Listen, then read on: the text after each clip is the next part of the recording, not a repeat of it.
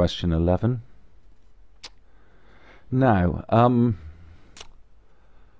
uh, part one, we've got to work out the volume. So you've really just got to picture uh, folding this box up. And um, so let's consider the lengths of the base. So this is going to be the base of the box once you've folded up these four tabs. So this length here, so the longest width, uh, uh, the longest length of the base is going to be 30 minus x minus x.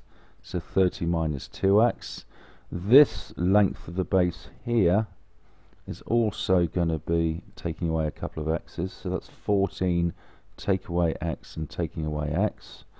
And then obviously to work out the volume of a cuboid you multiply the three lengths together. So we've also got to multiply it by the height of the box which once this is folded up will be x so you've really just got to multiply out these three brackets and gather up like terms so I've started off by doing this bracket times x and then 14 times both of these terms minus 2x times both of these giving me this.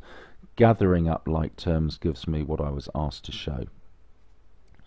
So find the two values of x that give dv dx equals 0. So we need to differentiate this. So remember we're multiplying by the current power and re reducing the power by 1. Multiplying by 2, power becomes 1 and this becomes 420. So this is dv dx which we set equal to naught. I've noticed that it divides through by 4 so I have done so. And then I think it does factorize um, but I couldn't spot it. So I've just used the quadratic formula. So minus b plus or minus the square root of b squared minus 4ac all over two lots of a. A is 3 b is minus 44 c is 105 that gives me uh, 44 plus or minus 26 over 6 so it gives me the two solutions of 11 and 2 thirds and 3 now for part 3 expl explain why one of these values should be rejected. Well think about um, the lengths here.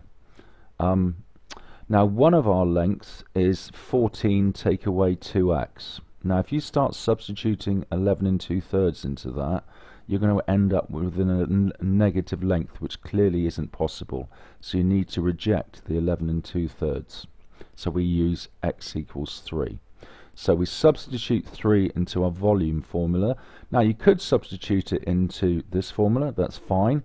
I just thought it seemed a lot easier to substitute it into my sort of fully factorized one if you like. So I've chosen to substitute it into this version of the volume formula uh, so it's a lot easier just to substitute 3 into this, giving me 8 times 24 times 3, which is 576 centimeters cubed.